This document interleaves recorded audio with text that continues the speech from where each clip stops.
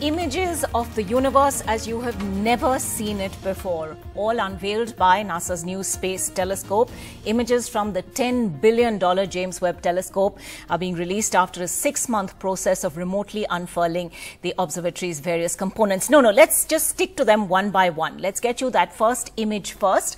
And um, this, in fact, was released by President Joe Biden. It represented something truly special for humanity. It was the farthest we have ever seen into both time and distance. This picture shows millions of stars. But consider this, the piece of universe sampled in the picture is equivalent to the size of a tiny grain of sand held at an arm's length against the sky. The image captures light from all the way back to not too long before the Big Bang which occurred 13.8 billion years ago. But that's not all. NASA released more stunning images later on in the day, and let's take you through some of them now.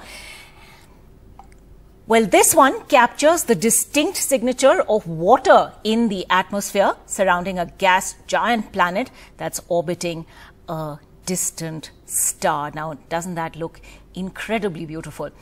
Well, yet another image of a dying star giving what NASA described as its final performance. Now, this image is perhaps particularly interesting.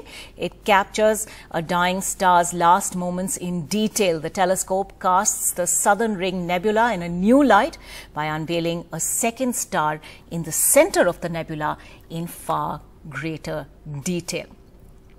And finally, this one, dubbed Cosmic Cliffs showcases the telescope's abilities to shed new light on how stars form.